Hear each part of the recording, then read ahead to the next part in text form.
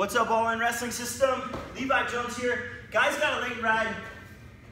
Right here, I've done a good job, you know, the best of my ability to keep my arm in tight.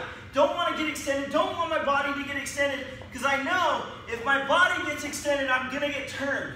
Okay, so I keep tight, and I do what my favorite technique is, is walk this knee forward and sit into this hip. Now, we got options here, okay? From this position, I taught you one before, we go two knees. All right, two knees, here, here, and we're out, okay?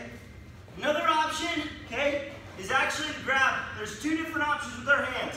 We see guys grab ankles all the time. I want you to be really careful. There's the difference of grabbing same leg, same arm, and grabbing inside the boots. If you put your hands together like this, grabbing inside the boots, versus grabbing cross arm. I'm gonna show you cross arm right now. Here's cross arm.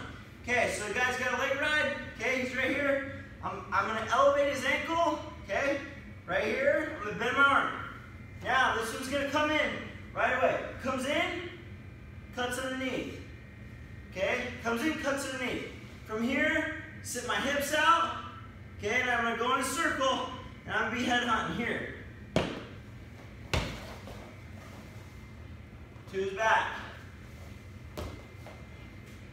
One last time, real quick. Guys got a leg right in. Okay, I walked him forward. Oh, the pressure is heavy. I can't handle the pressure. It's okay. Here, scoot, scoot, cross. Okay, most likely, we're right here, guys. This position. You're feeling this position a lot. Keep your body coiled forward. Cross reach. This is near side. This is cross. Cross underneath with the other arm. Okay, from here, we can go roll out this side and do a head hunt here and pin him, or we can go single leg this side. Here, get back to a single leg position, finish back shoulder in the butt, finish. All right, that's how to how to beat leg ride with a cross arm peel.